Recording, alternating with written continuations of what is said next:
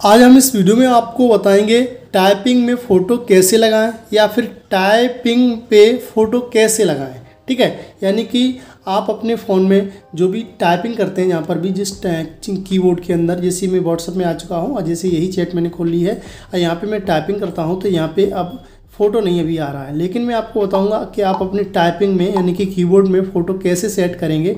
तो वीडियो को यदि आप पूरा देख लेते हैं, आपके पास कोई भी एक्स वाई जेड फ़ोन है, जिसमें आप ये करना चाहते हैं तो आप कर सकते हैं। सैमसंग है Realme Redmi Oppo Vivo OnePlus ठीक है आई क्यू ठीक है, कोई भी फ़ोन है, उसमें आप कर सकते हैं। तो सबसे पहले आपको क्या करना है, आपको अपने फ़ोन में सेटिंग एप्लीकेशन को ओपन करना है।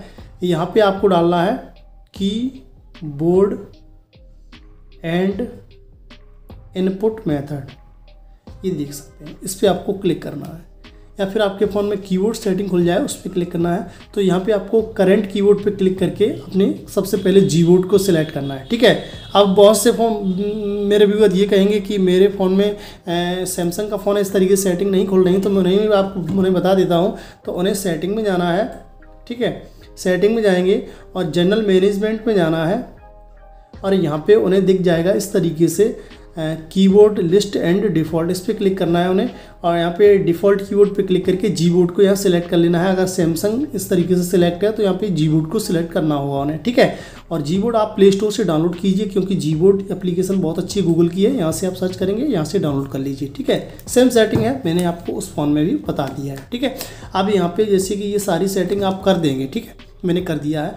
अब यहाँ पे आप अपने व्हाट्सअप में जाएँगे, कहीं पर भी जा सकते हैं, कोई दिक्कत नहीं है, ठीक है? बस फ़ोन छोड़ के मत जाइए। उसके बाद यहाँ पे आपको क्या करना है, यहाँ पे जो भी है उस पर क्लिक करना है, चैट खोल लेनी है, उस पर इस तरीके से अपना कीबोर्ड खोल लेना है, ठीक है? उसके बाद यहाँ पे सेटिंग के आइकन पे आप क्लिक करेंगे, ठीक है? मैं फिर से दिखा देता हूँ सेटिंग के आइकन पे, इस तरीके से। उसके बाद यहाँ पे आपको थीम वाले ऑप्शन पे क्लिक करना है।